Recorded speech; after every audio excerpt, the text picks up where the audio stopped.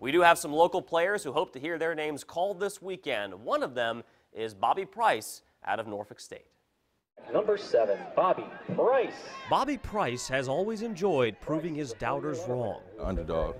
Always an underdog. Once a quarterback at First Colonial High School in Virginia Beach, he transferred to Bishop Sullivan Catholic and switched to defense. And after a four year career at Norfolk State, looks to take the big leap to the NFL. Bobby Price. It's kind of surreal.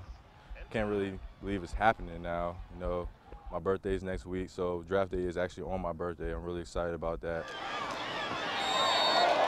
At a punishing 6'4", 205 pounds, Price played in 42 games for the Spartans, finished with 133 solo tackles, 7 interceptions, and even ran track for NSU. Very versatile, um, underrated, I would say.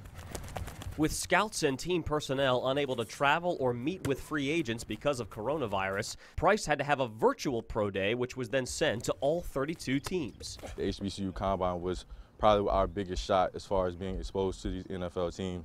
So just keeping faith and just keep going, keep working out every day, find the field to work out on when you can. Before everything shut down, he did get one workout with the New York Giants, which happens to be his childhood team and his dad's favorite. It would be crazy just for my family being Giants and Ravens fans. If I go to either one of those teams, I think it's going to be a fiesta in the house. Price could be a sleeper in the sixth round. I don't care where I go. As long as I make it to the league, get my foot in the door, I don't care where I go. Whatever the jersey, he'll look to cash in at the next level.